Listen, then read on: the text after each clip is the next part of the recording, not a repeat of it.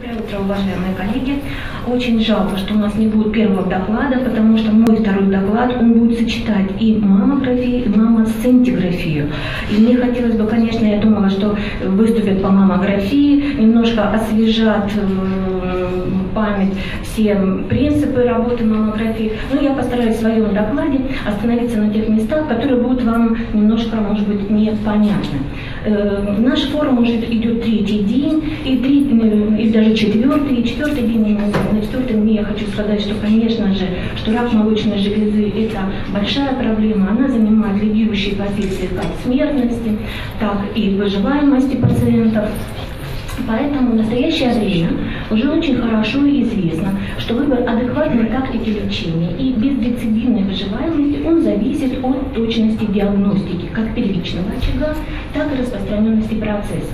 И мы все знаем, что к основным методам лучевой диагностики это относится рентгеновская маммография, это ультразвуковая диагностика, это магнитно-резонансная томография и, конечно же, радионуклеидные методы диагностики. Основными значит, методом, который я сказала, конечно, остается маммография. Это золотой стандарт. Он является единственным методом визуализации рака молочной железы во время скрининга и позволяет нам выявить как единственный иногда признак, а может быть как первый признак, это микрокальцинаты. Но маммография, она имеет и свои пределы. Я хотела сказать, что рентгеновская маммографическая плотность, она обратно пропорциональна чувствительности маммографии. То есть, чем выше плотность нашей хотела показать, чем выше плотность молочной железы, это четвертый тип, тем меньше чувствительность для выявления рака. Конечно же, присоединение к маммографии таких методов, как ультразвук, МРТ, они позволяют увеличить диагностическую точность выявления рака, но они тоже имеют какие-то свои методы. Это бывает иногда, ну, может быть, повышенная стоимость заболевания, это трудоемкость. И в этой работе тоже бывает гипердиагностика, которая приводит к биопсиям, иногда ненужным биопсиям на доброкачественных образованиях. И не только в нашей стране, и за рубежом. Э, все думают, как бы совместить с чем-то маммографию, с каким-то новым методом, для того, чтобы улучшить диагностическую точность.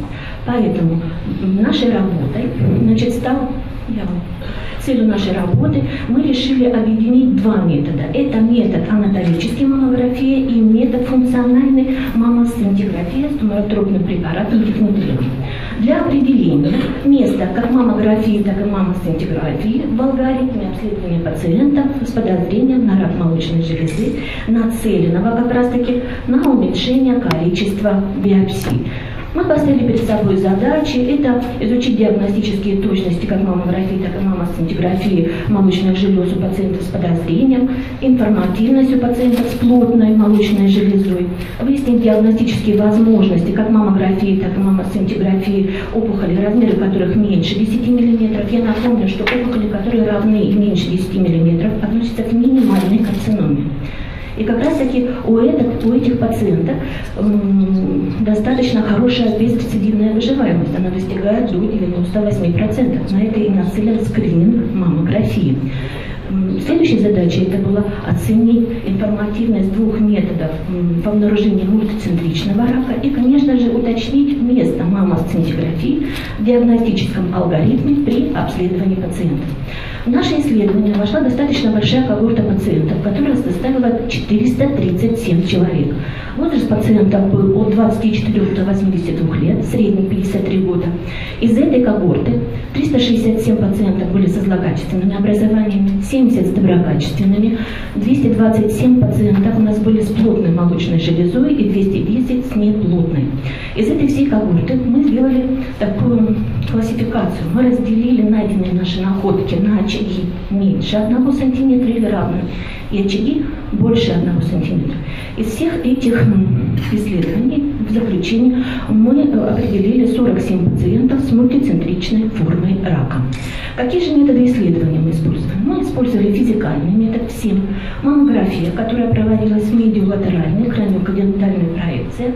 Находки при маммографическом обследовании описывались согласно рекомендациям системы Байерс, то есть система интерпретации, протоколирования, визуализации молочных желез. Маммосцинтиграфия проводилась с применением радиофармпрепарата отечественного производства 99 мегабитихнитрил через 10-15 минут после внутривенного введения боковой и прямой проекции. И, естественно же, всем этим пациентам была сделана биопсия, то есть всем провели верификацию процесса. Какие же основные группы гистологические мы нашли? Из доброкачественных. Это была инвазивная протоковая, неинвазивная внутрипротоковая карцинома, инвазивная протоковая карцинома с преобладанием внутрипротокового компонента, дольковая и редкие такие формы, как медулярные и тубулярные. Из доброкачественных это были фиброаденом, локализованный фиброз и фиброзно-кистозная болезнь. Все маммографии мы оценивали по, я уже сказала, системе Байрас на злокачественность. И положительным тестом на злокачественность у нас считались данные, которые мы получали при Байрас равными и больше четырех. При маммосцинтиграфии я уже сказала, что препарат вводился внутривенно, в противоположную руку от патологической молочной железы. Если мы предполагали билатеральное поражение молочных желез, то препарат вводился в дорсальную вену стопы все мамосцинтиграфии, они оценивались также на вероятность злокачественности. В группу низкой вероятности злокачественности у нас вошли пациентки, у которых был достаточно низкий индекс накопления или вообще его не было, он был от 0 до 0,5. К неопределенной вероятности злокачественности у нас относились от 0,5 и чуть выше единицы, и все остальное относилось к высокой вероятности злокачественности по гиперфиксации мы провели сравнительный анализ этих двух результатов. И что мы имеем? На гистерограмме мы видим, что как чувствительность, так и точность наших данных результатов, они сопоставимы. Однако, когда мы стали изучать результаты ложно-клади на правой маммосцинтиграфии, мы не видим никакой фиксации. Коэффициент опухоль фон равны нулю. Но при гистологии мы получаем тубулярный рак. Следующая группа пациентов, которую мы обследовали, мы разделили пациентов с плотной и неплотной молочной железой. Все они оценивались также по системе Байрас. Я напомню, что первый тип молочной железы состоит только из жировой. Второй тип молочной железы – это жировая с включением фиброгранулярной ткани. Их составляет всего где-то 25%. Третий тип – это неоднородно плотная молочная железа, где фиброгранулярная ткань будет от 25 до 75%. И четвертый тип – это достаточно плотная молочная железа. Так вот, именно высокая плотность генологическая, она, по нашим данным, регистрируется у пациентов, у которых были третьего и четвертого типа. И что же мы получили? Что когда мы сравнивали чувствительность, специфичность и точность этих пациентов с плотной и неплотной молочной железой, оказалось, что маммография при плотной молочной железе, конечно, дает очень маленькую и чувствительность, и специфичность, и точность. Но когда мы этих же пациентов обследовали при мамосцинтиграфии, оказалось, что радиологическая плотность на накопление фармпрепарата не влияет. И чувствительность, и точность, и специфичность у них достаточно одинаковая. И что, какие выводы мы из этого можем сделать? Что у пациентов с плотной молочной железой мы, конечно, должны использовать такой метод, как мамосцинтиграфия. Она нам дает повышение как чувствительности, так и точности, то есть диагностическую точность для выявления опухоли. Еще раз пример. 52-летняя пациентка с папилломчевым поражением правой молочной железы. Мы видим такой фокус уплотнения штететными контурами. Выставляем Байрат 4. На правой боковой маммосцинтиграфии мы видим накопление очаг фон равный 4 и гистология инфильтративно-протоковая карцинома. Второй пример. 46-летняя пациентка с непальпируемым поражением правой молочной железы. На маммограмме мы выявляем небольшой узел 8,7 мм, выставляем Байрат 4. На маммографии, на маммосцинтиграфии мы выявляем очаг, причем фон его 3 и 1, гистологический неинфильтративно протоковый рак. Еще один пример. 46-летняя пациентка с достаточно плотной фиброграндулярной тканью. Мы определяем в ней при большом увеличении фокус скопления полиморфных кальцинатов. При правой боковой маммостентиграфии мы выявляем узел с достаточно с повышенным накоплением гиперфиксации, э, очаг фон 3,3, гистология неинвазивная, неспецифицированный рак. И поэтому мы хотим предложить какую-то вот схему обследования больных в зависимости от возраста. Всем пациентам выполняется маммография. Если же возраст пациента старше 40 лет, и мы можем предположить, что это не плотная молочная железа, то эти пациенты могут уйти у нас на тройную диагностику. Что такое тройная диагностика? Это клиническое обследование, это маммография, это биопсия под любыми видами, то есть под УЗИ и под рентгеновскими. Тройная диагностика, она достаточно дает высокую чувствительность, которая колеблется от 93 до 95 процентов. И если все эти три теста нам выдают, что это очаг доброкачественный, то вероятность диагностической ошибки, она меньше единицы. Если же возраст пациентки меньше 40 лет, и мы понимаем, что мы можем столкнуться с плотной молочной железой, то тогда этим пациенткам мы можем предложить сделать маммосцинтиграфию. При отрицательном результате они уйдут на на дальнейшее э, обследование, ой, последующее наблюдение. А при положительном выполняется биопсия. Мы еще сравнили еще одну группу. После оперативного вмешательства у наших 47 пациентов оказалось рак с мультицентричным ростом, который был, скажем, гистологический. И мы решили рассмотреть этих пациентов уже перспективно. Точно ли мы поставили тогда мультицентричный рак? Потому что мы знаем, что при выявлении мультицентричного рака это полностью меняется тактика лечения. И что оказалось?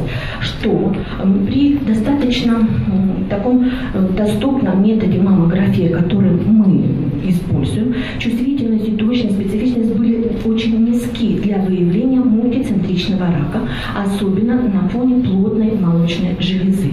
Тогда как при маммосцинтиграфии эти данные были достаточно высокие. То есть отсюда опять мы можем сделать вывод, что мы должны назначать пациентам маммосцинтиграфию. То есть она повышает нашу и диагностическую точность, и вероятность пропускания рака, она, конечно, снижается.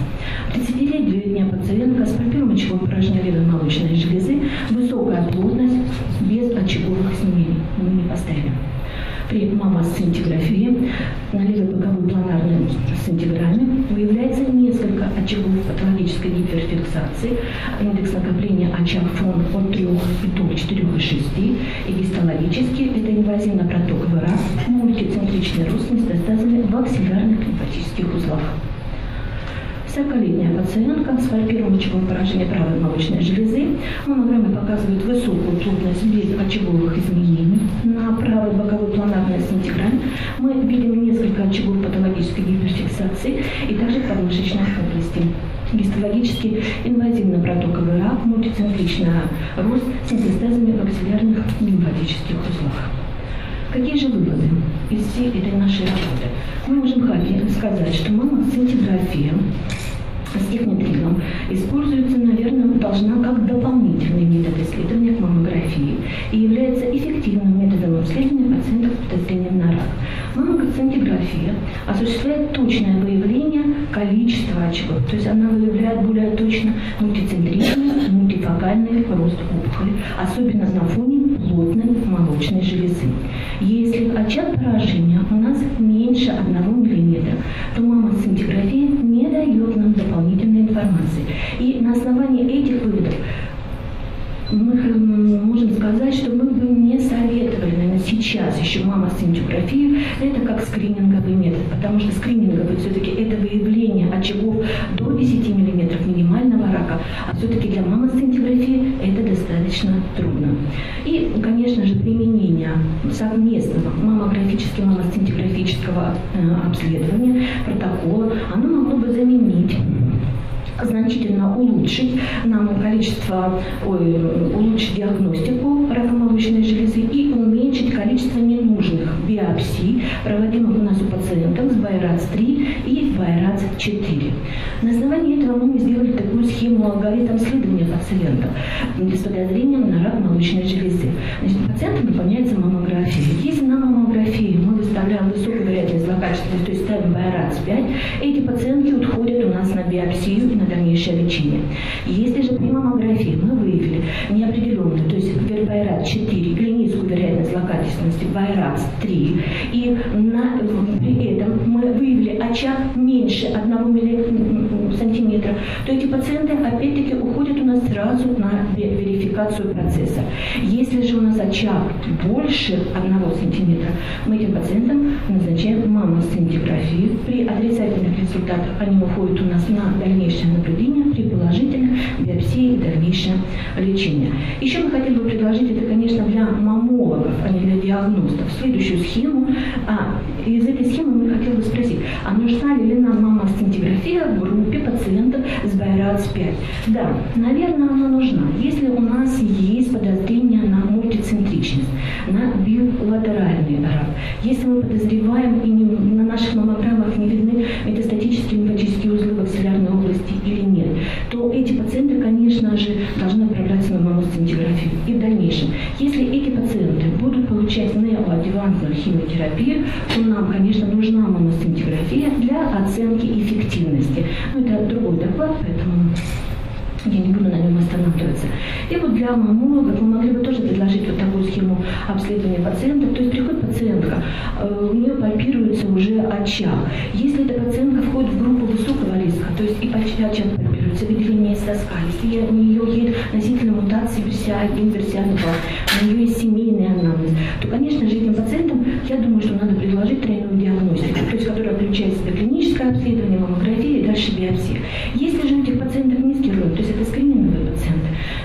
маммография. Дальше при выявлении БайРАЦ-5 они уходят на биопсию на лечение. При БайРАЦ-3-4, то есть это та группа, в которой мы хотим снизить количество вот этих ненужных биопсий, делается синтимомография. При положительном делается биопсия, при отрицательном они дальше у нас наблюдаются. С последующим. Спасибо за внимание. Я хочу сказать, что доклада. Спасибо, Наталья Викторовна. А какие вопросы будут?